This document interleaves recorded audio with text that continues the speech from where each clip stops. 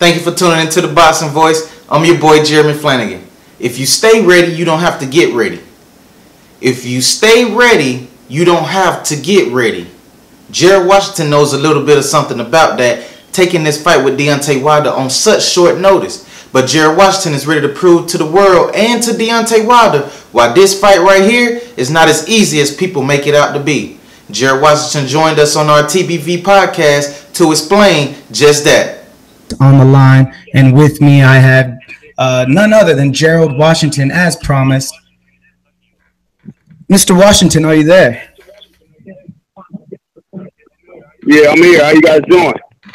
We are happy to have you, Gerald. We want to thank hello, you. Hello, hello, hello. We got you. We're happy to have you. We want to thank you for taking out the time to give us the opportunity to interview you at Gallo Negro. Very uh, appreciative yeah. of your time. Yeah. You're coming into it, obviously, uh, the fight of your life thus far. An opportunity at the WBC title, uh, very luxurious title, one that even Muhammad Ali has held. I mean, how is this moment for you? How are you uh, taking it all in? Oh man, it's very exciting, man. You know, um, all I'm thinking, all I got in my mind is just prepare, prepare, prepare, man. You know, put this plan together, get ready to take this dude's belt, man. Bring this back home. Uh, we working hard, man. We working hard. My trainer and I, man, we got a great game plan, and it's uh, it's gonna be it's gonna be a beautiful night, man. It's gonna be a lovely day.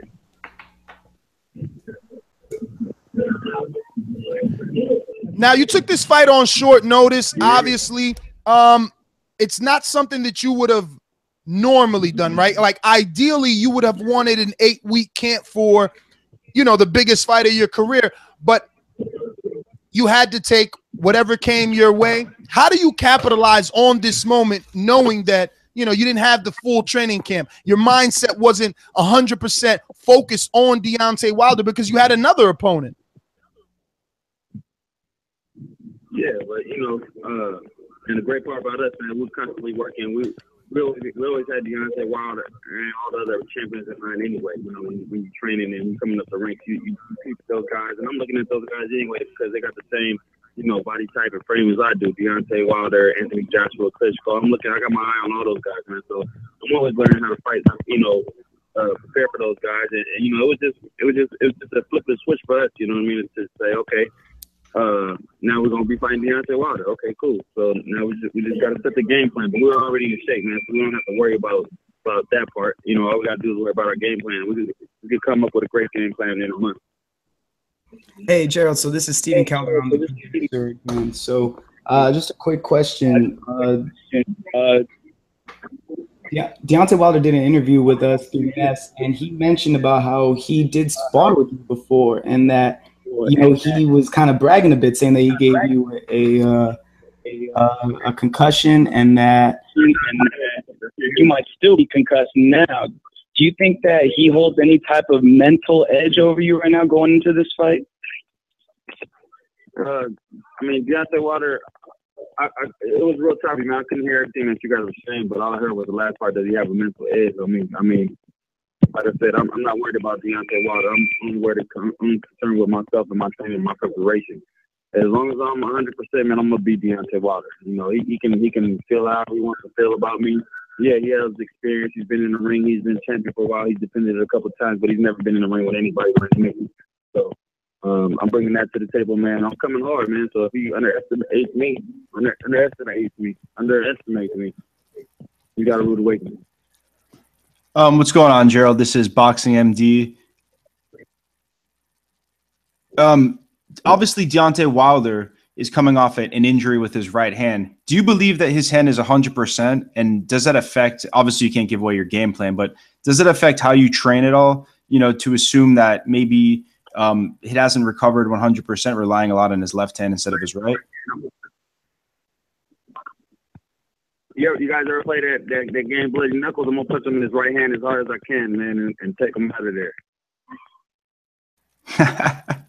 hey man, that'd be uh, at least a good game plan if happening. nah, nah, it's all good, man. I'm, just, I'm, I'm, we're prepared for the best Deontay Wilder that, that we got. We're not concerned about any of that, man. We're not concerned with his with his bicep. We're not concerned with his with his hand. You know, we we we just looking for the best Deontay Wilder. You know, I, I don't want to. I'm hoping he's at 100 percent because I don't want to hear any excuses. I don't want to hear anything, man. Because I'm going through my I'm going through my share of stuff too. Everybody goes through the bumps and bruises in, in camp. You know what I mean? So uh, I'm I'm I'm I'm working through it, man. I'm bringing all I got, man. If he's not ready, he don't have to fight on February 25th. He can hold on. You know, he can he can you know he can go ahead and pass me that belt if he wants. But uh, I don't want to hear any excuses about a hand or bicep or nothing like that after we after we fight, man. I'm I'm gonna go in there to to fight the best Deontay Wilder, and I'm gonna handle my business.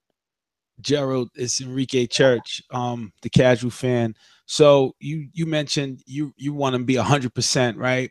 The fight is only about nine days away, eight days away. What percentage you think you have right now? Yeah. No, I'm at a good percent. I'm, I'm good. I'm saying I, I hope I said I'm I'm I'm preparing for 100 percent. Uh, Deontay Wilder at 100 percent. I'm not worried about him and his injuries or whatever. You know I said everybody goes through their through their bumps and bruises through camp, but I mean, I'm, I'm gonna be good, man. I'm, I'm gonna be 100. percent You know, I'm gonna be focused. I'm gonna be locked in on the fight night, man. And whether whether whether I'm 100 percent or not, man, you guys ain't gonna know nothing. You guys just gonna know that I'm I'm there to fight. You gonna see that. That's what, that's what you're gonna see. So, Gerald, I mean, uh, can you let us know who you use for preparation for this fight? Like, who were you able to find to mimic his height, his style, or are you not concerned with any of that? You know, what sort of choosing and selection did you use for sparring partners?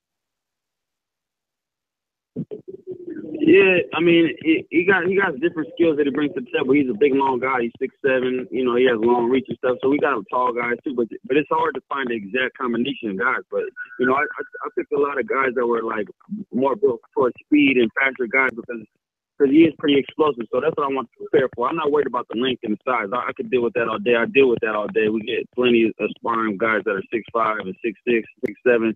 That's not the issue. The issue is, is what can he do athletically and, and, and how he carries himself around the ring, man. So that's what we're dealing with faster fights, man. A lot of cruiserweights and guys with speed. Do you take, uh, I guess, any confidence in the fact that the both of you share a similar amateur background where you're both not that experienced in the amateur world and you're learning on the job as a professional? I mean, yeah, he, has got to he's got to go around the world and, and, compete and stuff like that, man. But you know, my, my 14 amateur fights, man, those, those as real as they come, man. You know, I come from the hard streets of Vallejo, California.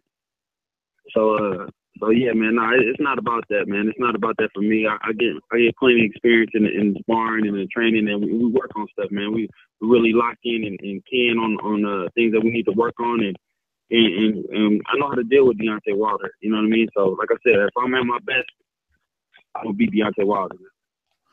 All right, Joe. Well, my last question, obviously, uh, uh, can you let me know how you've envisioned it? I mean, I, I I could only imagine that if I were going up for the heavyweight title of the world, I'd be dreaming myself to sleep and envisioning how I'm going to win it, how it's going to go down, or what happens after. I mean, when you close your eyes at night as these days approach, what thoughts do go through your mind? man, I just look, I just look at him, man, and I see a man. You know what I'm saying? I see a guy that's that's that's, that's you know, he comes to fight. I'm not, I'm not uh, I'm very capable, man. I don't, I don't, I don't, I don't put too much out there. You know, I'm just saying I'm, I'm well prepared for the fight. You know, I, I, I've dealt with his style. I'm, I'm, I'm I like his style, and uh, I'm very comfortable with it. And I look forward to, to stepping to him, man.